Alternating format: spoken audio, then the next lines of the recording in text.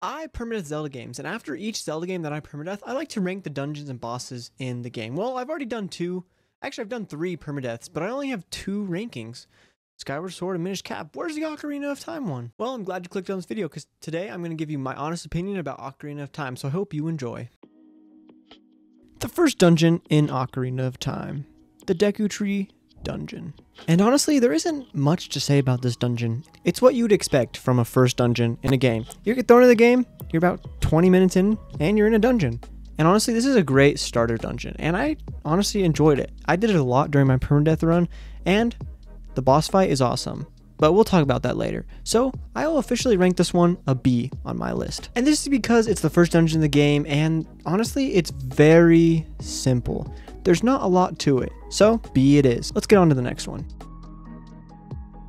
Dodongo's Cavern is another one of those dungeons that I actually really enjoyed. I did play through it a lot just like the other one because the first two or three dungeons I got through a lot and usually after I would die and that's when I would reset.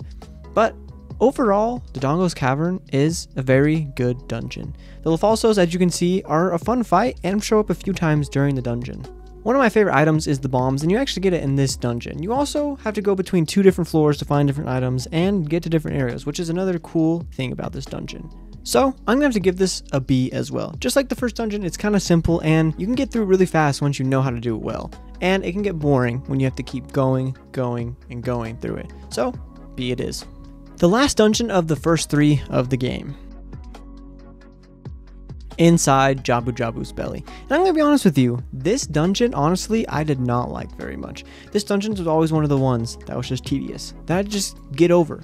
It's short, there's not a lot to do in there, and it's just weird. So I just never really enjoyed going through this one because it was shorter than the first two, like I said before, and it's just the inside, it's just weird. It just gives you that weird feeling. So I'm gonna rank inside Jabu Jabu's belly as a D. Now this is where the temples start to get good. The Forest Temple. The first dungeon you do as an adult, and honestly this dungeon is really, really good. I really like the idea of going around finding four little Poes before you can actually go to the boss fight. And the little bosses in the rooms like these ones are actually hard, difficult bosses that you have to pay attention to defeat them all little puzzles and everything you do around the dungeon honestly just make me excited to go back when I have to go back to the dungeon. It's a dungeon that I look forward to. But as a ranking, it's not my favorite dungeon. So that's why I rank it an A. Because it's a well off dungeon and actually really good dungeon. I always enjoy it. The Fire Temple is honestly another amazing temple you do as an adult. It is confusing. The first time I ever played this game, I actually got stuck on the Fire Temple for a couple of weeks or months or something.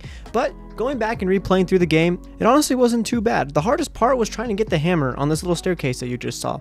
Frick that part, dude. Frick that part. But overall, the dungeon honestly isn't the most fun to play through. Even though it is an amazing dungeon, it's just very repetitive. Going, getting all the Gorons, flipping the switches, and just saving them. It gets really repetitive and kind of annoying. So that's why I'm going to rank this dungeon a C. Do I even need to explain myself on this dungeon? Like, literally. Do I need to explain it? Do you like this dungeon? Because if you do, let me know in the comments. Because you're weird. You're weird. You. You're weird. This dungeon literally makes no sense. I've played this game like four times and still got lost in this freaking dungeon. And yes, I know four times isn't a lot, but still, after four times, you should know what to do. Like, seriously. If you don't get the keys in the right order, the dungeon isn't even possible. Who does that? to a Zelda player. So of course you already know, this dungeon's an F. Put it in the freaking F tier. Put it down there. The only thing that was good about this dungeon was the Dark Link fight. That fight is good, like always. Even the boss fight sucks, but that's coming for later, like... move next dungeon, please. Bottom of the Well. It's not really a dungeon in my opinion, it's just a little mini dungeon. But, you know, we'll count it, whatever. It's on the list. So, the mini dungeon bottom of the well. Honestly, very creepy, very short, and very memorable because of that guy that just died. And you just get the lens of truth. Honestly, that's it. So honestly, I'm going to rank this dungeon a D. Because honestly, I don't even really consider it a dungeon. So, next one. We are down to our four last dungeons. And we are on a banger dungeon. The Shadow Temple. And oh boy, let me tell ya, I love this dungeon. Dungeon I always look forward to when I play Ocarina of Time. It's the most memorable, in my opinion. I think it's just an amazing dungeon. The enemies are good, the layout's good, using the Lens of Truth and the hover boots together to get over areas. And then that boat ride at the end. Yes. And a lot of people ask me what my favorite dungeon is in Ocarina of Time, and I'll just be honest with you right now. It's this one. And that's why I'm going to put it at a freaking S tier. This dungeon is top tier. It's just whew, I totally recommend playing through this dungeon because it's just one of my favorite. And why wouldn't you just listen to a random guy on YouTube? Which, by the way, if you're here, why not hit that subscribe button?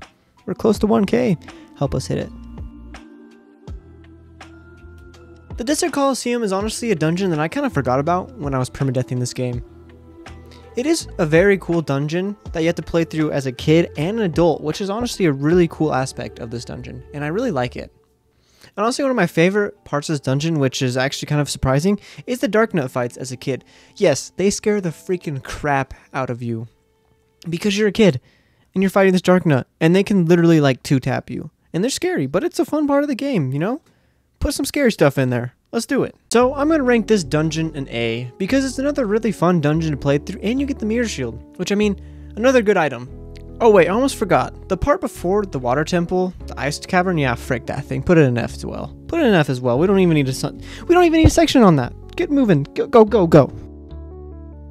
Final dungeon of Ocarina of Time, inside Ganon's castle. And honestly, this dungeon, I mean, it's cool. It's cool. But like what most people complain about, it's just a repeat of all the other dungeons, so I feel like it can be really repetitive. And that's why I'm not going to be ranking it as high as a lot of people think, because a lot of people like this dungeon, but honestly, I think it's repetitive. So I think it deserves a place in B. Because the Forest Temple and the Desert Coliseum, I just feel like are better dungeons. And of course, you know, the Shadow Temple, the best dungeon. I feel like those three are better than Ganon's Castle, but Ganon Castle honestly isn't that bad. So that's why I'm putting it in B. We officially finished ranking all the dungeons in Ocarina of Time. So now let's move on to the bosses because those are the best parts of the dungeons. The ending of the dungeon, the place you end off the dungeon. Let's go! Queen Gohma is honestly a good fight to end off the first dungeon in the game. Not too hard, and honestly, when you speedrun a lot, it gets super simple. I could defeat it super, super fast. So, Queen Gohma, short and sweet. I'm going to put it in a B because it's honestly not a bad fight and I think it's a good one to start off the game. King Dodongo Dongo is honestly another one of those fights that is honestly really simple. You just throw the bomb in his mouth, jump attack three times and he's dead and there's not much to the fight other than throwing bombs and hitting with your sword. So that's why I'm going to put King Dodongo Dongo in a C because honestly he's an easy fight, the dungeon is good, the fight honestly isn't that good, so I think it deserves a C. Barinade honestly saves Jabu Jabu's dungeon. Like I said before, Jabu Jabu's stomach honestly isn't a very good dungeon. It's super short, and I just don't think it's very fun. This boss fight, on the other hand, is very fun, and it's actually pretty challenging. If you are a new player and don't know what you are doing, this boss fight is very challenging. And that is why I really like this boss fight. So I'm going to give it an A, because I think it's not an S tier, but it's an A tier boss. Phantom Ganon is honestly a super amazing fight. That ends off an amazing temple. But I'm gonna be honest with you, when I was doing my permadeath run, Phantom Ganon ended my run at least four times. I could just not get the volley part down. It wasn't until I got the big Goron sword till I was actually able to defeat him. But my hatred aside from him, I think it's a great boss and a great way to end a great temple. So that's why I'm going to give it an A as well, because it's a great boss fight and really fun. I'll be honest with you, Volvagia was a fight that I dreaded the whole permadeath because holy crap, this dragon can do half your health in damage. So during my permadeath run, I was freaking freaked out because I didn't want to die to him. But overall, this boss fight was very confusing, but honestly a great boss fight. I do really like it, but it is hard and challenging. And for the Fire Temple dungeon, I think it's actually a really good one. So I'm going to put it as B because I don't think it's an A tier dungeon, but I think it's a B tier. Morpha. I mean, what is there to say about Morpha? Comes from a terrible dungeon, boss fight in terrible dungeon, is a terrible boss fight. Honestly, Dark Link is a better boss fight than this. Throw it an F, dude. Throw it an F with the dungeon. Screw this thing. Bongo Bongo comes after a really good dungeon. In my opinion, the best dungeon in Ocarina of Time. So, to me, this boss had a lot of pressure riding on it. And, let me tell you right now, Nintendo did an amazing job on Bongo Bongo. It is a scary idea of a guy that doesn't have a head with two hands that just tries to grab you and throw you around. And it's a really hard boss fight. It was one of the bosses that I was most scared to go fight in my permadeath run. And all around, it's just a great end to the best dungeon in the game, in my opinion, of course. So that's why I'm going to throw it in the S tier because it's another amazing boss fight. Clean. Twinrova is a cool concept of fighting a boss, where the first phase you fight two different witches that both shoot weird laser, ice, and fire things, and you have to hit the other one with it. I don't know, it was confusing at first, but I finally figured it out and I was able to get it. Then you go to the second phase where you fight, I don't even know what her name is, but she is interesting and honestly always made me uncomfortable when I fought her. But that aside, I honestly don't think this boss fight is too bad, and I think it's actually pretty good, so I'm to throw it in the A because I think it's a decent boss fight and it's pretty fun. The Ganondorf fight at the top of his tower is honestly another really good boss. It's one of the ones where I really struggle with because I suck at volleying. I don't know what it is. I just I I almost lost this whole permadeath because of this fight. I can just not parry for the life of me, but that is okay because honestly this fight is very good. It's another really nice fight and I honestly think it's one of the best in the game. It's hard, not super easy, which should be what the final boss is. And honestly, I think this should be the only boss fight because I think I think Ganon is honestly not that hard, so I'm going to rank this one an S as well. We got two S's on this category because this boss fight is honestly really, really good.